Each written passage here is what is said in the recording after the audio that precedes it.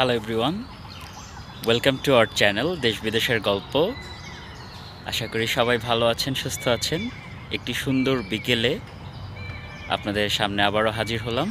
এখন আমি আছি সিরাজগঞ্জের যমুনা রিসোর্টে এটা চমৎকার একটা জায়গা, যমুনা সেতুর পূর্ব পাড়ে এটা অবস্থিত, এই যমুনা রিসোর্ট তো এটা যদিও এখন বন্ধ, এখন এটা সিরাজগঞ্জ বঙ্গবন্ধু রেলওয়ে ব্রিজের যারা কনস্ট্রাকশন কাজের সাথে যুক্ত, তারা এখানে স্টে করছে। বাট আমার একটা বিশেষ কারণে আমার জন্য এখানে অ্যালাউড প্রবেশ। তাছাড়া সাধারণ মানুষের এখন প্রবেশ নিষিদ্ধ, কিন্তু আমি পারমিশন নিয়ে এসেছি এখানে। তো ভাবলাম আপনাদের সাথে একটু শেয়ার করি যে এই বঙ্গবন্ধু রিসোর্ট বা যমুনা রিসোর্টটি কেমন? খুবই মনোরম এবং সিমসাম পরিবেশ। তো চলুন আপনাদেরকে একটু এর আশেপাশে ভেতরে কটেজটা দেখাই। ভিউয়ার্স এই হলো যমুনা রিসোর্টের পুরো ভিউটা দেখুন।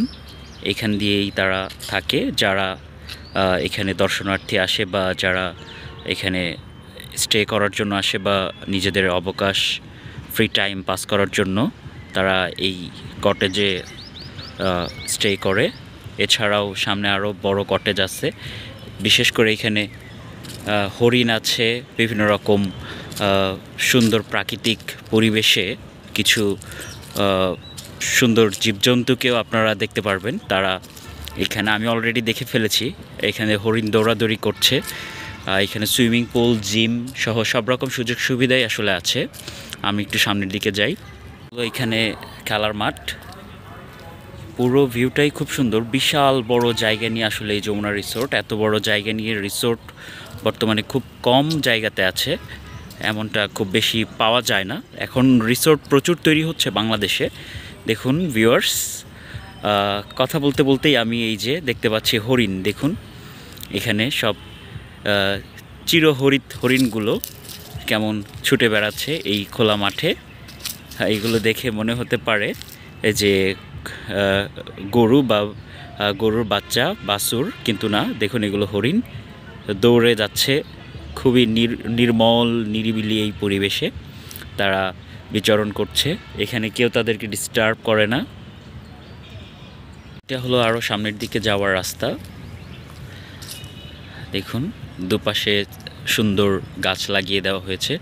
মানে একদম প্রাকৃতিক পরিবেশে নিজেদেরকে সময় দেওয়ার জন্য একটা উপযুক্ত জায়গা যদি কোনোটা থাকে, সেটা হলো এই যমুনা রিসোর্ট আগামী বছরের মাঝামাঝি সময়ে হয়তো এটি সবার জন্য আবার উন্মুক্ত হয়ে যাবে, কিন্তু এখন এটি উন্মুক্ত নয়।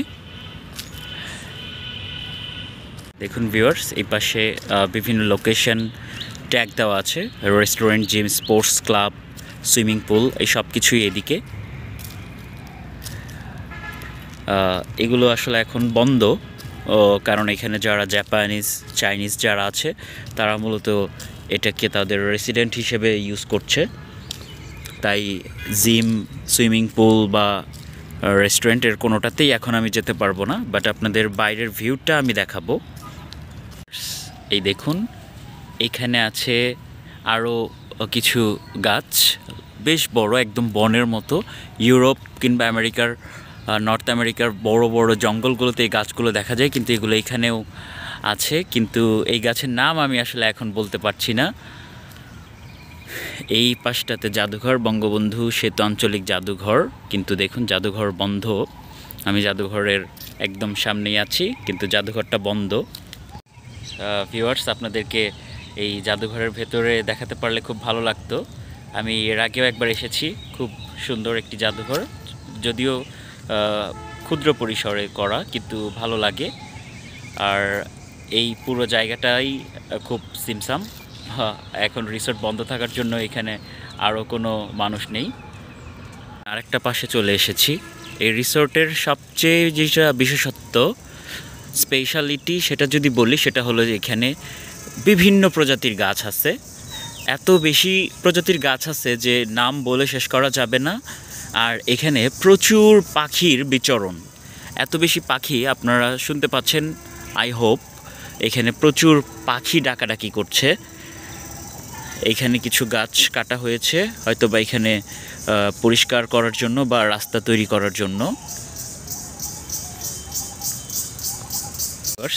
এই দেখুন, এখানে একটা বাংলোর মতো কটেজ এগুলো ভিভিআইপি কটেজ এগুলো যারা ভিআইপি পার্সন বিশেষ করে রাজনৈতিক ব্যক্তিত্ব, কোনো বড় বিজনেসম্যান বা কোনো সরকারি আমলা এই জাতীয় কোনো মানুষ থাকলে তারা এই ধরনের ছোট বাংলোগুলো ভাড়া নিতে পারে, নিয়ে এখানে থাকে।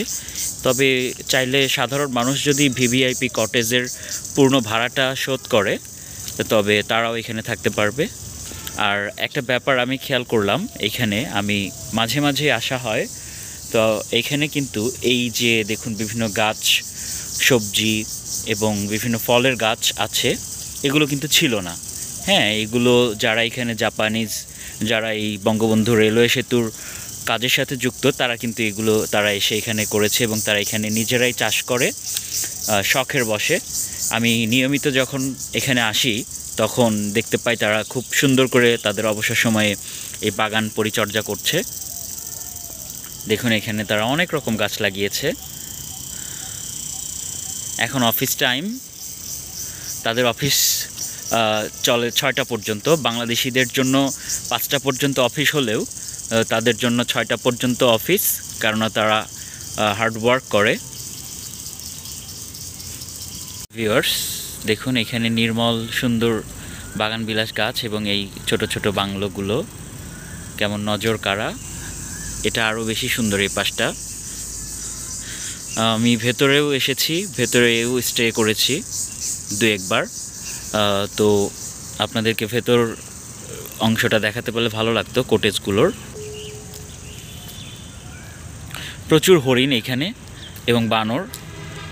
বিশেষ করে হরিণের দেখা যেমন রাস্তায় হাঁটতে হাঁটতেই আমি পেয়ে যাচ্ছি, তেমনি গাছে আছে প্রচুর বানর। আর প্রচুর বনটিয়া এখানে আছে।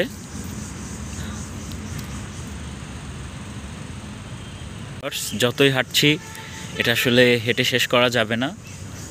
এত এত বড় এই পুরো রিসোর্ট তাই আমি আবার ব্যাক করলাম। সামনে আরও অনেকগুলো কটেজ আছে।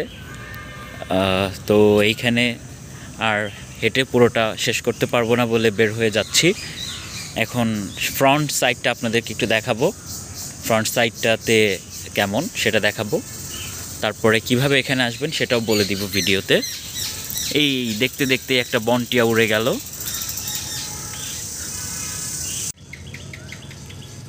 এখানে অনেক রকম গাছ আছে।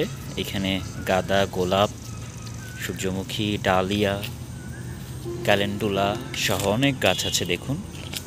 খুবই নির্মল, সুন্দর, মনোরম পরিবেশের এই গাছগুলো, ফুলগুলো বেড়ে উঠছে।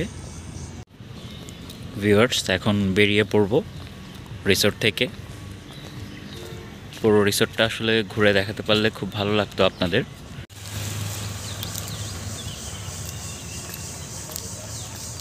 ভিউয়ার্স, এটা হলো যমুনা রিসোর্টের এন্ট্রি রোড। এখান দিয়ে রিসোর্টে এন্ট্রি এক্সিট। এন্ট্রি রোডটাও খুব মনোরম। সব কিছু মিলিয়ে নির্মল পরিবেশে নিজেদের সময় কাটানোর জন্য খুবই চমৎকার একটা জায়গা যমুনা রিসোর্ট। আর আমারও খুব ভালো লাগে এখানে এসে সময় কাটাতে। সো ভিওর্স এই ছিল আজকের ব্লগ। আর রিসোর্টটা ইনশাল্লাহ সবার জন্য উন্মুক্ত করে দিলে আপনাদেরকে পুরো রিসোর্টে স্টে করে সারাদিন কেমন কাটে সব কিছুই জানাব। আজকের মতো এইখানেই বিদায় নিচ্ছি। ভালো থাকুন আপনারা। আল্লাহ হাফেজ।